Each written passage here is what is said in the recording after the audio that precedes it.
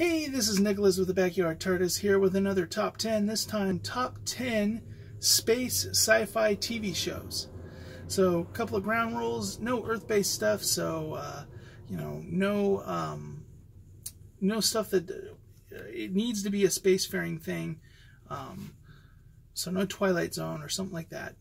Um, and it, uh, we're looking at we're looking at sci-fi, so not not not fantasy. It can have fantasy elements, but it's it's got to be a sci-fi show set in space. And uh, full disclosure, certain things I haven't seen. I haven't seen Farscape. I haven't seen Babylon 5. I know I need to go back and I need to see those. So those very well could uh, supplant something on this list uh, when I eventually do watch it. But these are based on my opinions from what I've seen.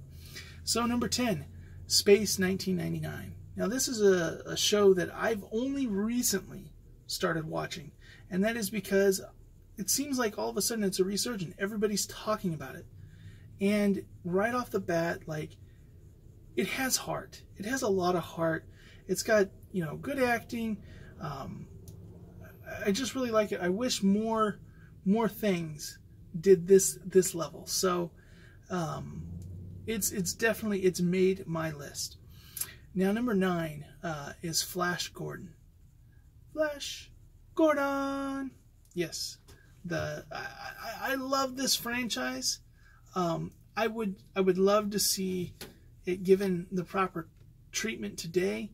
Uh, unfortunately, you know that that's really hard for them to go back and do something like this because as much as I want them to give the proper treatment today, I want them to do it uh, in the time period it was originally written because that is a whole part of the charm and i've only seen bits and pieces of different uh, recently um, looking back at the show there's been a number of iterations of this show um, i did watch the 2007 reboot it was okay but it didn't do it the justice that i want done for this show number eight on a similar line uh, what's better than uh, Flash Gordon? It's Buck Rogers.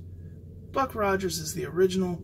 He's what Flash Gordon was made to compete with, and Buck Rogers, uh, costume designs, just just aesthetic. It's a fun adventure show, and it's been a number of fun adventure shows, and uh, I would I would also one that I would love to see make a comeback. They, these two shows specifically, you know, they helped inspire a lot of the other sci-fi that's on this list. And for that, they hold a special place as a property there. Number seven, Lost in Space. I uh, I ate Lost in Space up as a kid. I loved that show, and um, it's it's one that uh, now the the Netflix reboot.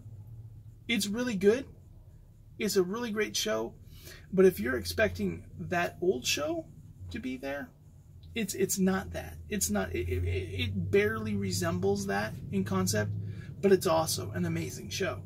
So, but the the Lost in Space franchise, the Danger Will Robinson, uh, the, the, robot. I love the robot.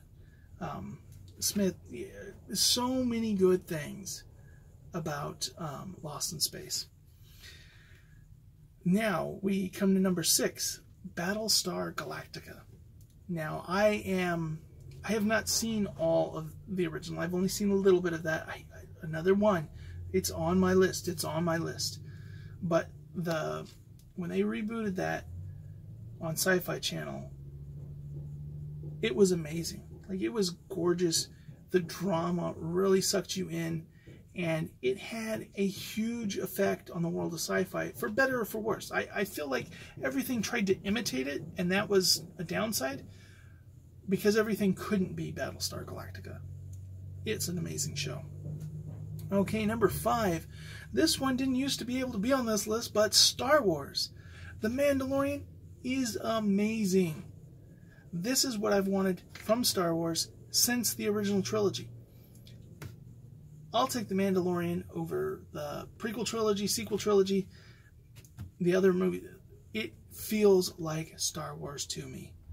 And it's giving adventure in that, uh, you know, Mos Eisley, criminal underworld type. Love it. Love it. Um, number four, Firefly. It ended too soon. Nathan Fillion is brilliant. The whole cast is great and amazing in this show, um, and would love love to see anything that they go into because they're such amazing actors. It was kind of just the storm of everything that came together, but the world that was created, the idea that you know they're part of the losing side of a war. Everybody speaks in uh, Chinese, so when they get angry with each other, they, they break out into Chinese because that's the universal language. Even though our characters know English, like the universal language had been China. So many things like that uh, were just nice little touches. Interesting world. Would love to go back and revisit it, whether it would be a reunion show or movie, or if it's just a spin off show that some of our characters could occasionally guest star on. Um, Firefly needs to come back. Number three. Now we're getting into the difficult because the top three are all almost interchangeable for me. But number three is Stargate. I love Stargate. The concept of Stargate, the worlds, the going through, the banter, uh, the team aspect, love it. Uh, so many characters that I love. You've got the original team, Jack, Carter, Daniel Jackson. I love Daniel Jackson. Um, I tried, uh, you know, I have a daughter, but I told my wife we have a son. We got to name him Daniel Jackson. And um, she was like, well, maybe we could compromise on Jackson Daniel. But that's that's totally, I love that character. Um, Teal'c, Sam, love these characters. Um, I love Ba'al, my favorite Goa'uld. There's so many things that I love about this. Um, and then Atlantis came out and it was like lightning struck twice. Shepard, McKay, Teyla, Ford, um, Ronan, like I, I loved these characters. So amazing. Just so much to love.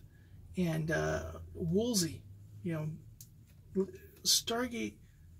And then you have a species like Asgard. You know, people love the MCU Thor. My Thor will always be Thor, the supreme commander of the Asgard fleet from Stargate. Love Stargate. Number two, Doctor Who. Doctor Who is such an amazing sci-fi property because you can go anywhere, anytime, do anything you want.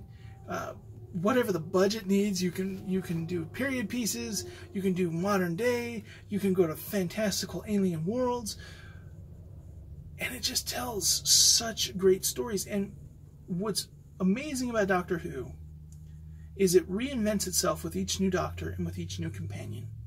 Every time a new companion is added to the show, it's a jumping on point.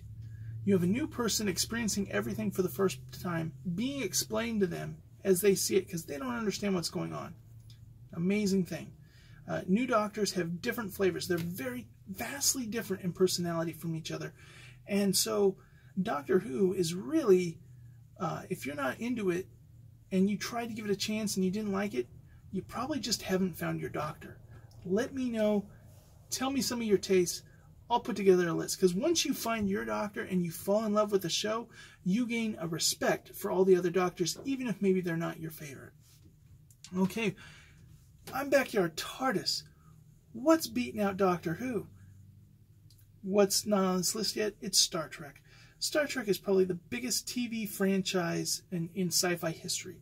It, it it eclipses everything else. It's amazing, and I love TOS, James T. Kirk, all that.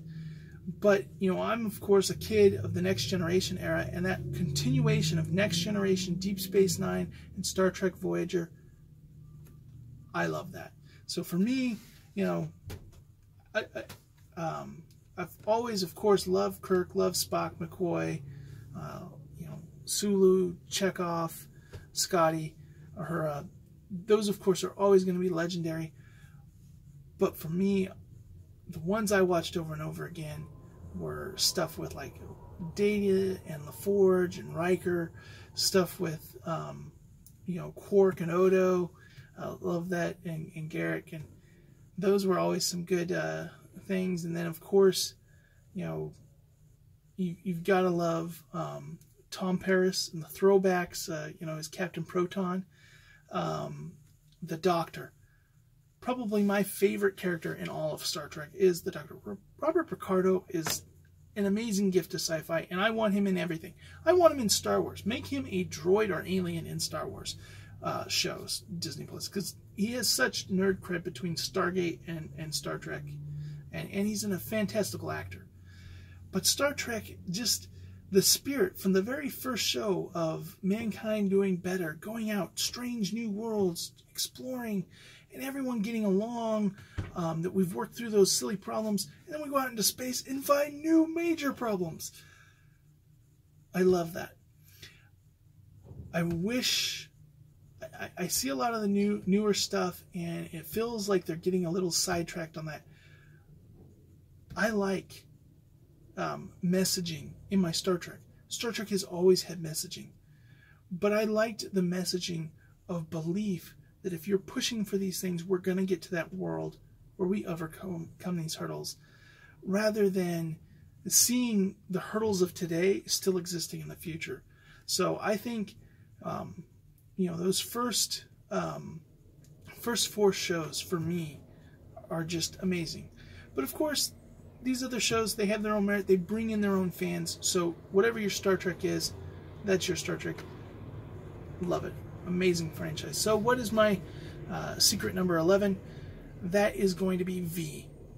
Uh, v got disqualified from this list because it doesn't truly take place in space, though it is invaders coming from space. And um, it's just one of those shows that it, it's such an interesting premise. The idea of these lizard people, but they're disguised as humans. Really cool thing. Both the classic and then the reboot one was done really well. Uh, it's one of the few times you know, like Battlestar Galactica, where I really feel like they, they, they knocked the reboot out of the park. Usually I'm against a reboot. I'd rather stuff stay canonical in universe with with with the classic old sci-fi, like Doctor Who, Star Trek, and, and Stargate and stuff like they they continue to stay in line uh, with the canon. Um, but this was a reboot that I definitely got behind because they did such an amazing job, and I was very sad when it got canceled. So that's my uh, top 10 space sci-fis. Are there some I missed? Um, what what ones do you think should be on there? Maybe uh, Farscape, Andromeda, Babylon 5. These are all other ones that uh, are some people's favorites. Let me know down in the comments below, and have a good day.